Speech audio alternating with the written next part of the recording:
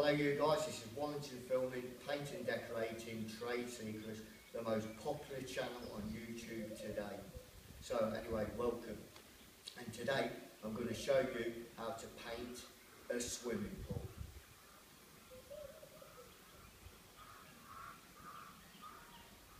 Right then, as you can see, one big swimming pool, okay? So the first thing we've got to do is prep all the walls, which means basically form a key, ready for the finished paint, right? So anyway, what you need, just get yourself any very, get yourself any coarse sandpaper. So you want a really coarse sandpaper for this particular finish, okay?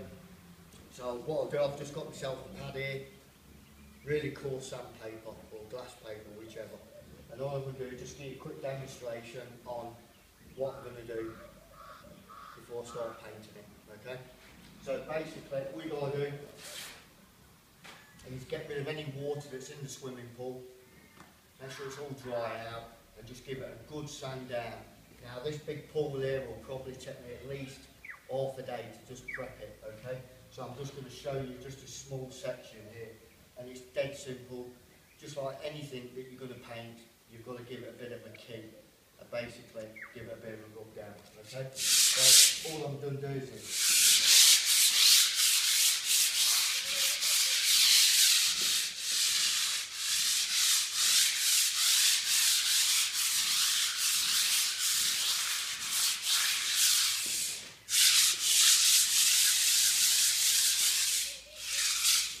One good thing to remember when you're uh, sanding down, if possible, go in a circular motion instead of just like that. Try and do it in a circular motion. You cover more area by doing it that particular way. Obviously, when you're coming towards right here, you've got some tiles. You know, you don't want to be scratching the tiles, so you have to go at that, that sort of angle. Okay.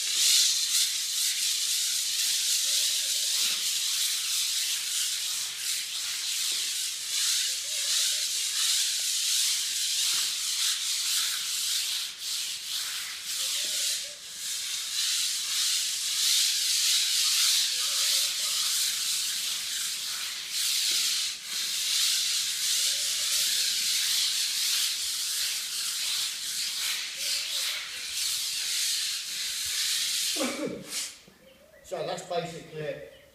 I've got a concrete swimming pool which is finished in, in concrete. It's been pre-painted before. The whole pool's dried out as you can probably see.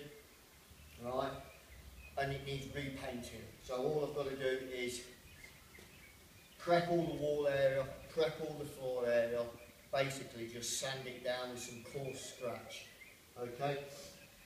And then the next the next plan will be when it's all completely rubbed down is to uh, give it a good sweep out, get rid of any dust. So anyway, like I say, we'll, we'll get onto the next section of like sweeping the walls down. And uh, just to let, just to, just one thing to mention, I'm here in sunny Africa. Okay, so I'm showing you how to paint a swimming pool in Africa. Okay, right. We'll get on to the uh, sweeping down. Right, are you guys finished prepping this whole pool area now? As you can see, it's all been rubbed down. Floor area, wall area. So I'm just going to give a quick demonstration on uh, dusting it down. Like anything you're going to paint, you give it a rub down to form a key for the finished coat, and then you need to remove the dust that's uh, that you've left. Okay. So all you're going to need is just in a pool of uh, this size is just any uh, sweeping brush or broom, okay? And just dead easy. All you basically got to do is just dust it off. So basically, your dust brush is your broom, okay?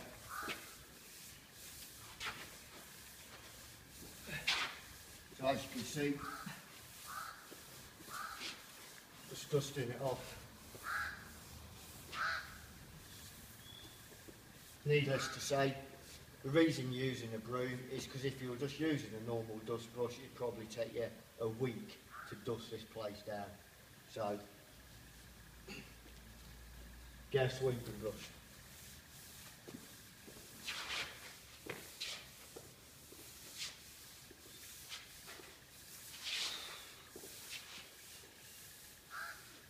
Right.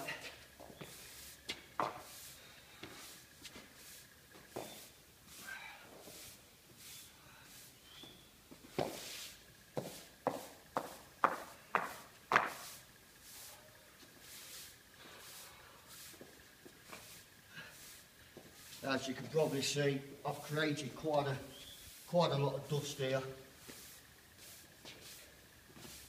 Just by rubbing this place down. Right then, I'm not going to bore you with the whole dusting off process. Uh, it's going to probably take me at least an hour to get that sorted out. So, as you've seen, prepping it. Next stage, dust it all down, get all the dust down at the bottom of the swimming pool, get rid of the dust, and uh, then we'll, uh, we'll show you what's coming next, i.e. what paint I'm using, and uh, how to go about painting such a large area. Guys, now we're at the stage where we're going to, um, I'm going to show you the tools that we need to do this particular job and the paint, etc. I'm also going to show, show you what's called boxing the paint, which is basically mixing uh, a few tins of paint and uh, mixing them in, in, in a bigger tub. Okay, so one of the first things you're going to need is this uh, 9 inch roller. Okay, just a normal single arm 9 inch roller. Uh, just some form of cutting in brush, could be that 2 inch size or a bigger brush. Uh, unfortunately this is the only size I've got available to me at the minute. Screwdriver for opening your tins. Okay. Uh, you're also going to need uh, some form of roller tray to put your roller in, 9 inch rolling tray a stir stick for mixing your paint, okay? Right. Now, as you probably uh, have already seen, this most swimming pools, if they're, they're a painted swimming pool, they want to be done in uh, like a bluish colour, so you get a nice effect when you fill it up with water. Right, so what we've got, like I say, due to us being in uh, sunny Africa, we've got um, I'm going to use uh, 5 litres, which is a gallon of this uh, Astra gloss enamel paint, okay? So that, and I'm um, just two normal tins of uh, undercoat, right? So what's going to happen is I'm going to box the two undercoat and the gloss um, together to form an eggshell finish. Now I've been painting this pool for a, a number of years and um, I've been painting this pool for a number of years and filling it up with water and uh, it seems to hold out quite well with using undercoat gloss mixed together to form some form of eggshell, okay? Um, it seems to cope with the, uh, the water being on top of the paint. Once, once the actual paint's dry and baked hard, uh, it seems to hold up quite well. A lot of people tend to use uh, what's called uh, uh an aqua paint. It's a water-based swimming pool paint. But in Africa, that tends to be like overpriced and very expensive. So what, what we're using is, like I say, we're going to use an eggshell finish. And due to it being quite hot in this country, right, I'll, I'll paint the the, the pool out and um, it'll uh, it'll get baked to a point where it's quite hard in the swimming pool, which will last, you know, a good few years with the water on, on top of this, this particular paint. But if you've got the money, by all means buy the water-based uh, aqua paint, okay? So these, this Three gallons of paint should get me one coat on this swimming pool. Uh, preferably, you, you do need two coats, okay? So I'm just going to show you uh, the boxing up of uh, this particular paint, okay? Guys, now we're going to box this paint up. Like I say, we've got two tins of white undercoat and uh, a tin of royal blue. So when I mix this uh, royal blue, which is a dark blue, with the white undercoat, okay, we're going to form some form, some, we're going to form some sort of colour similar to this this type of blue, okay? So what I'm going to do now, I'm going to tip, tip the undercoat in and tip all, tip all the undercoat in and tip the gloss in and uh, stir it up, which is basically, like I say, boxing it together. Okay, so let's get started. Right.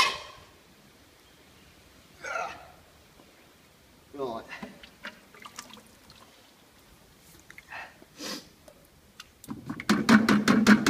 So that's uh, one undercoat, one white undercoat,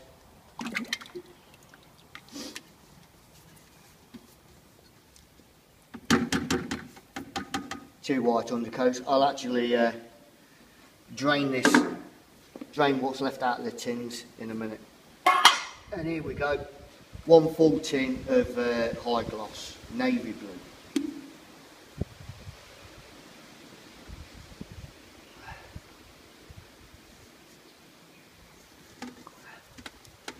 Right, so that's the two undercoats.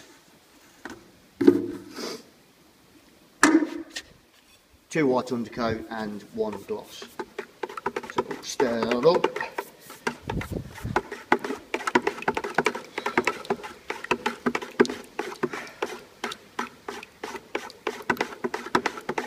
With a bit of luck it'll be a bit darker than what I put on last time, which is what I'm hoping for.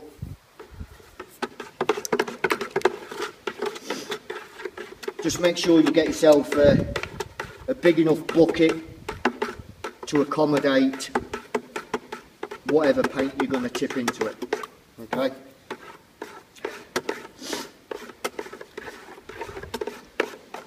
Now I'm not going to add any terps or anything to this at precise moment because with it being hot here the paint is quite uh, quite thin due to the heat heat on the tin so it's fairly fairly watery as you can see. Uh, this is oil based paint by the way, not water based. I'm, I'm, I'm going to be using uh, a form of eggshell which is oil based to paint this pool. And like I say, once the sun's been hitting it for a couple of days after it's been painted, um, you know, it will bake to the point where it's quite hard which means with a bit of luck it should last a couple of years at least with the water on top of it. Right then, so that's all mixed up and ready to go. That's like one good one good stir now, so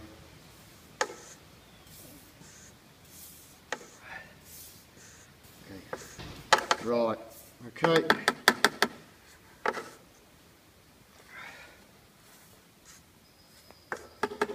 Right then, that's all mixed up, ready to go. So all I'll do is I'll just tip a, a small amount of this into my roller tray. And uh, first of all, I'm just going to do a little bit of cutting in and then I'll start rolling. So I'll show As you. As you can see, I've just started cutting in with this nice blue. Uh, luckily, it has turned out to be quite a lot darker, which I'm happy with. Okay, so I'm just going to show you a little bit of cutting in and then I'll uh, show you me rolling the wall. Okay. Right, so all I'm doing here now is just cutting into the tiles. Um,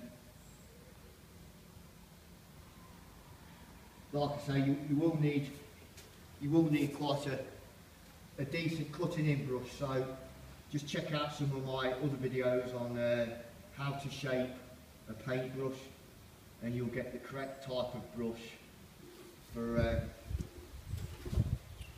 for cutting it.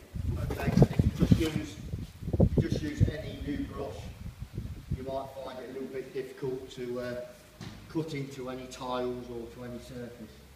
So like I say, just check out some of my other videos and it will give you a good idea of what type of uh, type of brush you need. Okay.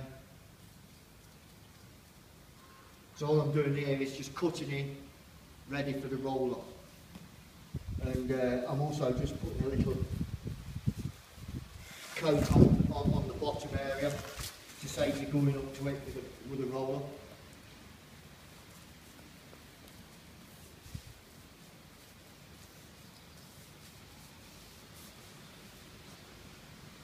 Right, so that's basically what you've got to do, literally cutting, just cutting the section that you want to roll, okay? So cutting like this section all the way to the end, and then roll the whole section, then do another section, okay?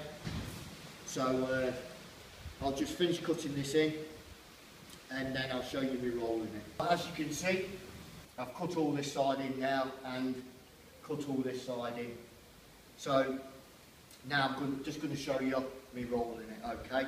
like I say, you'll need a nine inch rolling tray or any tray or scuttle, it don't matter. You can even use a bigger roller if you've got one, okay? Uh, and then just load your roller up in the blue eggshell and uh, start rolling. So I'm just going to show you rolling, me rolling this side up to the end there, okay, for now.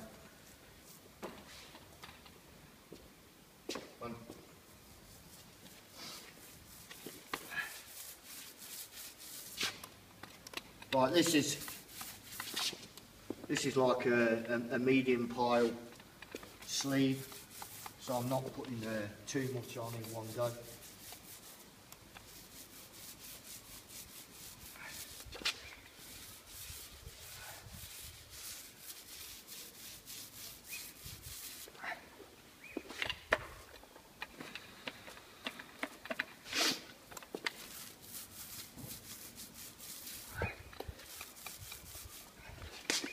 Don't really matter what direction you go with the with the rolling. Okay.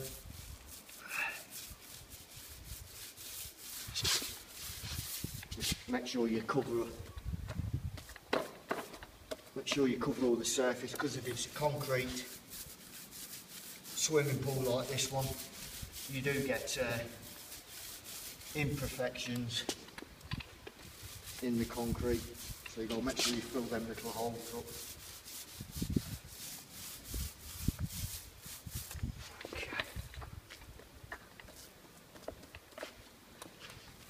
Go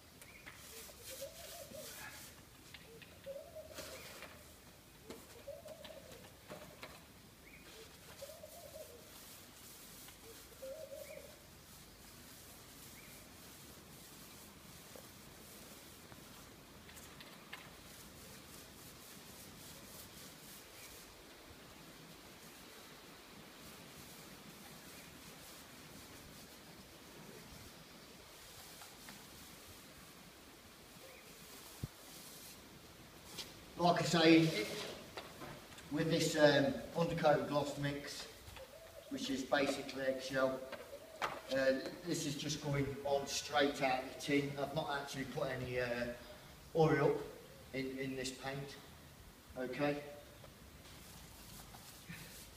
The tube novice, oil means or white spirits.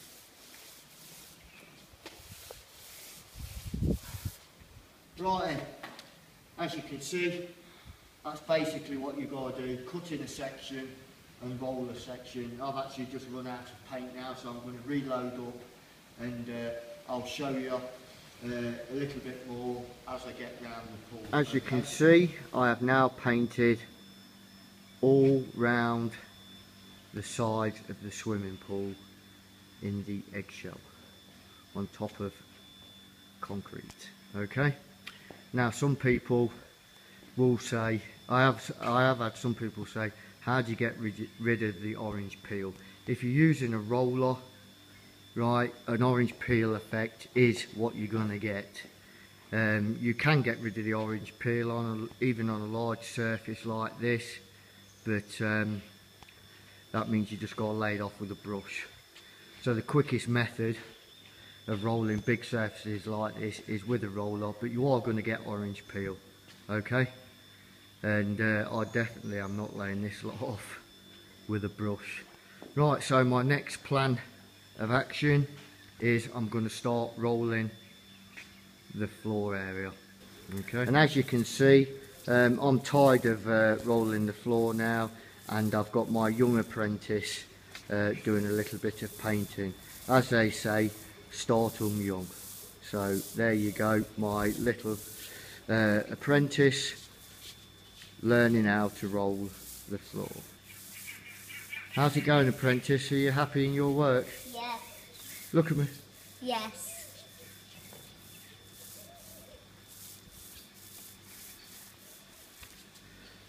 as they say why bark yourself if you've got a dog my young apprentice doing the painting. Lovely job. Brilliant. Uh, here's another one of my apprentices. Uh, as, as I say start them young. So here he is painting the floor of the swimming pool which is going to have hours of fun in. So there you go. Another one of my apprentices. And there's my other apprentice Hello. Yeah I think I might just get him painting the whole floor to save me doing it lovely job Brandon Thank you. and uh, just like to take this opportunity to promote Fun Kids Filming. Plenty of entertaining videos on Fun Kids. Guys, Filming. as you can see, I've started rolling the floor. Okay, all the sides done. So dead simple, uh, rolling a floor. Anybody can do it, even a young apprentice. Right, dead easy. Just load your roller up with paint and uh, roll away. So I'm just going to give you a quick demonstration. Okay. Obviously, I'm not going to paint the. Uh, show you a whole video on how to paint a floor. And it's as simple as that.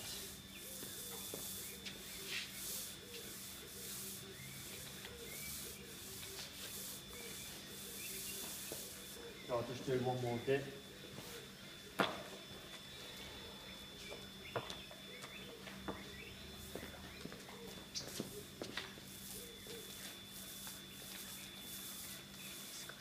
All you need is your roller, whichever size roller you decide to use, and uh, some form of roller pole, and just uh, roll the floor. Load your roller up with enough paint to do uh, probably a square metre. And it's as simple as that. No intelligence needed. So anyway, as you can see, uh, I'm on the final stages of uh, rolling the floor. Uh, I'm going to get the whole floor rolled and then I'll just give you uh, a look at what it, what the finished article looks like. Okay, so uh, I'll Guys, as you can see, the swimming pool has now been completed. That's all the sides and the flooring. Okay, that took me about a day to to roll out. Um, like I say, uh, I painted this swimming pool in uh, an eggshell finish and as you probably noticed from the preparation preparation stage that uh, the paint does seem to hold up uh, when it's uh, submerged under the water. Okay so even though uh, it's an eggshell and not like um, a like a proper swimming pool paint like an aqua paint it does hold up when it's uh, underwater. Okay so anyway that's all finished. Two coats on there. That took me about uh, 30 to 35 litres of paint to double coat that. So that's how you paint a swimming pool. Um, Wallington filming painting and decorating trade secrets. Uh, thanks to all my subscribers. Don't forget to subscribe yourself.